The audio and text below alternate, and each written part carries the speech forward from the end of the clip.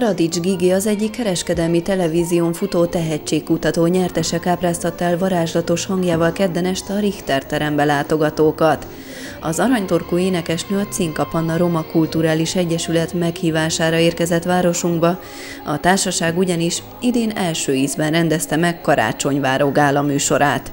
Az estet egy az oktatási intézményekben meghirdetett jótékonysági gyűjtés előzte meg. Nagyon-nagyon sok adomány gyűlt össze, úgyhogy nagyon-nagyon hálásak vagyunk a, a kisgyermekeknek, illetve a szüleiknek.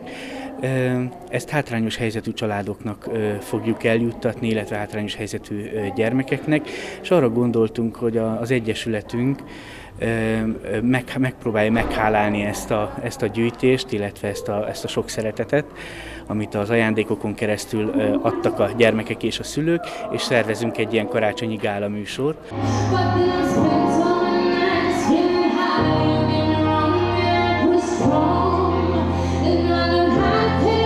A fiatal ám annál tehetségesebb énekesnő szívesen látogatott a Kisalföldi megyeszékhelyre, ahova ismert slágereket és saját dalokat is magával hozott.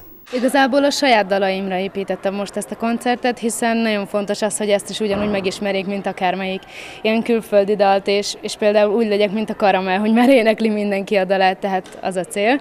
Úgyhogy ezért is hoztam ennyi saját dalt. Nyilván ezt meg szokni kell az embereknek, hiszen én is, hogyha elmegyek egy koncerten, mondjuk tegyük fel Beyoncé koncertre, és hallom, hogy új dala van, és, és még ezt nem hallottam, akkor azt szoknom kell.